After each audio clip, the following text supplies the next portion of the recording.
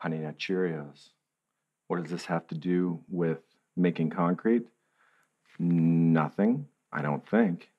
This was going to be my breakfast. But then I ate uh, hash browns instead, and I got too full, and now I don't want these Cheerios anymore. Plus, it was end of the end of the box, and I was like, oh, should I should I eat these Cheerios?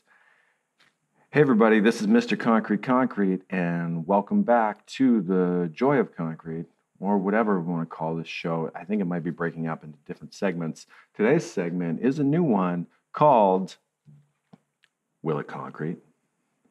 Yes, this is a parody of lots of other YouTube channels' things of Will It, Will It, Will It. But why not? Will it concrete? Let's find out. I've got about 700 grams, 700 grams, 700 grams of Grey Matter mixed with a little bit of white and a little bit of black pigments. That was close to about, I don't know what to say, 90 milliliters of water.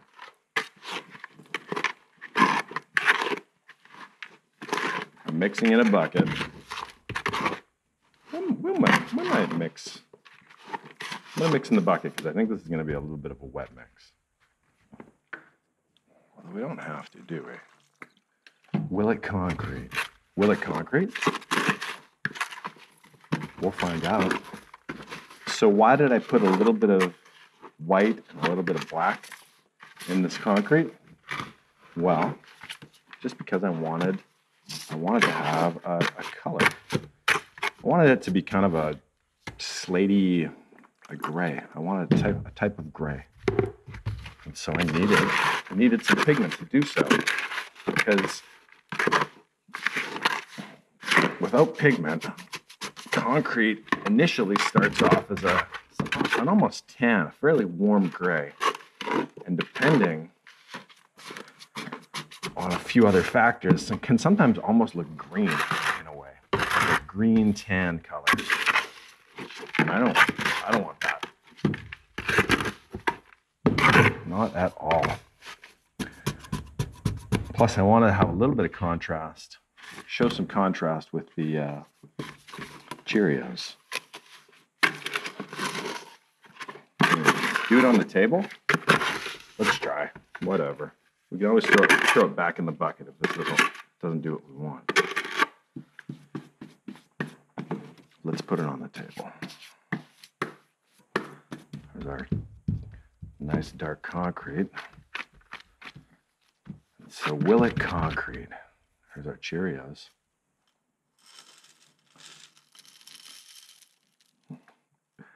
Will It Concrete. Uh, I don't know. I have my doubts. I have my doubts, but I'd say one of the best ways to learn something is to just do it. Do it. You can watch YouTube videos too. That's a way to learn something as well. But I'm being kind of gentle. I don't want to crush these Cheerios. I want to keep them intact. All right. Those seem to, they're in there. Will it concrete? Maybe. My answer is maybe as the rest of my Cheerios. I'm going to fold these in. Oh my goodness. This is silly. What's the last silly thing you did? Was it mix your old Cheerios into a bunch of concrete?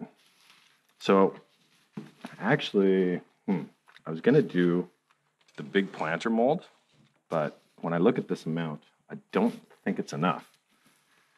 If I pour a partial into the big planter mold, uh, maybe I should do the small one. Here, let's. I wasn't really sure how to pre-measure. Is that to be enough? Uh, no. No, it is not. So you know what? Let's go small planter and then Small planter, and then the rest will just be a test section. Sorry, big planter. Should have. I needed more Cheerios. Uh, all right. I think those are those are in there enough. Here's a small planter mold. Dump some of our Cheerio mixture in there and just same as always tap it out. Now, Cheerios are going to affect our flow properties a little bit, I think. Don't think this is going to have quite the same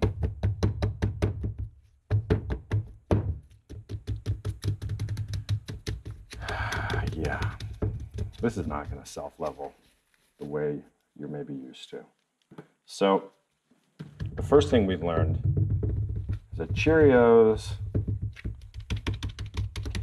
may have an effect on the self-consolidating, self-consolidating, self-compacting, you know what, in layman's terms, self-leveling, the self-leveling properties of Grey Matter.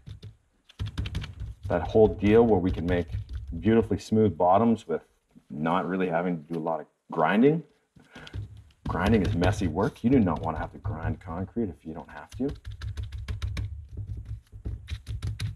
Let the concrete do the work for you. I'm going to pull a little bit more out, but this is going to be a lumpy, bumpy bottom.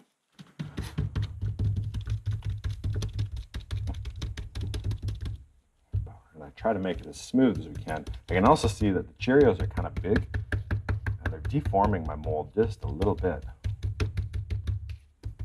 If I force them down, they push apart the sidewall. That's why I wanted to use the bigger mold I knew this smaller mold would put an aggregate that's larger than the thickness, the sidewall of the object itself, that aggregate is going to deform your sidewall. So you never want to have aggregate larger than your tightest tolerance within a mold. That'll, that'll make a, it's going to give you issue. So I haven't seen one air bubble come out of this. So this is going to have some air bubbles. I'm tired of tapping. This is done. Will it concrete? I don't know let's let's make our pile of Cheerios look somewhat picture, picturesque. The first thing, I don't want any raw Cheerios showing, if I can avoid it. This actually has a smell. It's got a bit of a hmm. It's got a bit of a smell. It's got a funk. Definitely smells a little bit like Cheerios I want to, maybe a, a, longer, I want something I can actually put a little bit of force into. I'm to make this a little bit long. I know what you're thinking. I don't know what you're thinking. Tell me what you're thinking. What does this look like?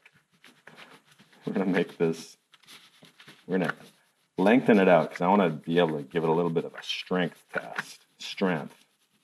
I'm just to shape this into something that can have strength applied to it.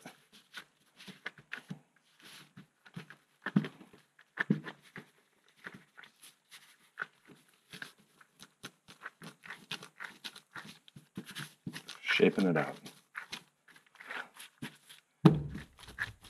Rolling out the, the log. yeah. Mm-hmm. There we go. Will it concrete? This is Cheerios. Cheerio and concrete log. Cheerio and concrete log. Cheerio and concrete log. Will it concrete? I hope so.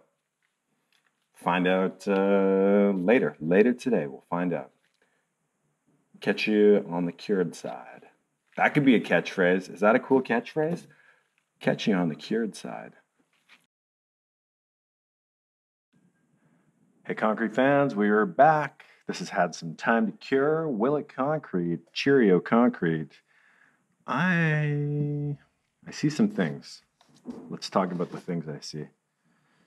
So, I see some Cheerios but have got some interesting gaps around them. Oh, and this one is falling out. So I think the Cheerio, and it's pretty squishy, So what looks like has happened is the Cheerios absorbed water and has uh, shrunk as the concrete is cured. So the concrete around it is cured. The Cheerios are shrinked. So will it concrete? Kind of. It's it's solid-ish. We weren't not going to do a strength test right this minute because this is still pretty fresh. All these Cheerios are soft and squishy, but it yeah, it feels solid. Look at that. Pretty nice. Pretty nice Cheerio test log. Let's put this aside for now. Let's put that aside. Will it concrete? I have a feeling we're going to see some gaps, some Cheerio gaps. But let's see. All right. So, right off the bat, hmm, you know what? Parts of the concrete are pretty firm. And so we got some voids, Cheerio voids. Oh, and it smells. It smells like um, wet cake batter, like uh,